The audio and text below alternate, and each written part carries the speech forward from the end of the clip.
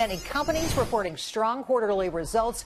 So far, get this 78%. 78% have beat earnings estimates, but market moves muted. Yesterday, Google parent Alphabet said its net income jumped more than 70%. Revenue rose about 25%, but shares of the company were actually down after in after hours trading. Joining me now, financial analyst Armando Soto. He's managing partner at Zelphinium. Great to see you, Armando. Thanks for coming in. So let's drill down into this. Uh, what we're seeing is that the proportion of companies beating estimates are the highest in seven years since the first quarter of 2011. Where's the rally?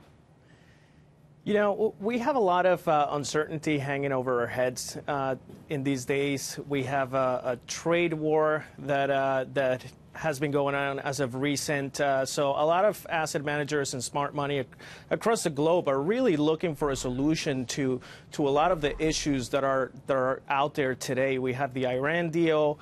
Uh, that might come back on the table. Uh, North Korea is finally coming into the table, which is great, and we saw gold actually go down as a result of that. Uh, so there are a lot of things that are that are going on well, today. A lot of headlines, obviously international headlines, but when you look at share price improvement on earnings gains.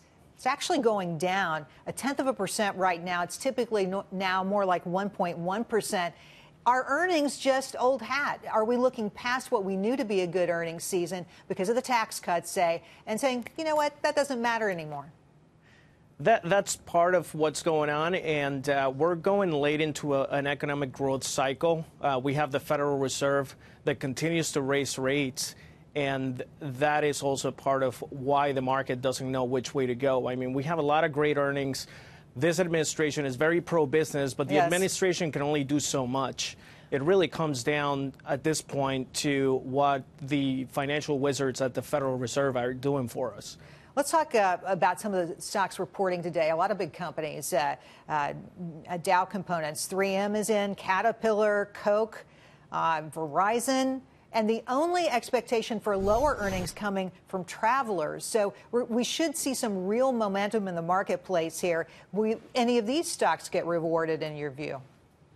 I believe we're going to see Caterpillar uh, most likely beating and, and, going up as well because uh, they're pretty big in the emerging markets and they essentially help emerging markets uh, become uh, bigger economies and there's a lot of buying in, uh, in that particular sector. So depending on how that sector does, we're going to get a lot of visibility into what we should expect coming into the future in regards to global growth.